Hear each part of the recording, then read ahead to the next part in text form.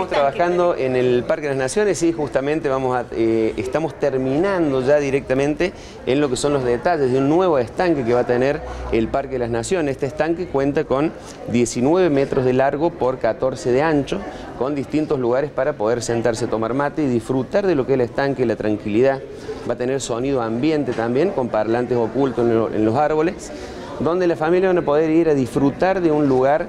eh, en paz, tranquilo, que es lo que eh, por ahí se necesitaba en el Parque de las Naciones. Sabemos que tenemos distintas actividades, todo lo que es deportes extremos dentro del Parque de las Naciones, va mucho eh, gente a hacer atletismo, distintos deportes dentro del Parque de las Naciones, bueno, y, y buscamos un lugar específico ya para el relax, tranquilidad, que va a ser el estanque que próximamente ya lo vamos a estar inaugurando. El estanque está hecho desde cero, todo, todo, todo, fue una idea que se nos ocurrió, eh, que, bien decías recién, es como para un lugar de relax, un lugar de tranquilidad para las familias. Mucha, estamos convocando mucha gente de la tercera edad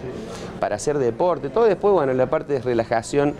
eh, relax dentro del Parque de las Naciones, que era lo que queríamos en el stand. Hemos estado probando las bombas, todo. Este estanque lo que tiene fue hecho absolutamente todo por equipos de trabajo nuestro. Compramos el material y fuimos diseñándolo al estanque, así que bueno, tiene una cuotita de muchísimo cariño, muchísimo amor de cada uno de los empleados del Parque de las Naciones que eh, hicieron todo ellos. Después lo van a ver, yo les puedo asegurar que es un estanque que va parece que es algo muy bonito, es muy bonito, pero lo hicieron entre ellos con muchísimo amor, fueron diseñando algunos sectores que no estaban diseñando, así que bueno, ahora quedó ya plasmado, se puede ver en imágenes que va creciendo el parque y, muy lindo con este estanque. Tiene una profundidad de un metro ochenta, que es más o menos para que las carpas que vamos a poner, que son las carpas eh, conocidas, las, de colores, vamos a decir, para no decir el nombre, unas de colores grandes, eh, bueno, va a tener todo lo que es la, fauna acuática dentro del estanque y por fuera también todo embellecimiento y lo que es el parquizado dentro de por fuera del estanque.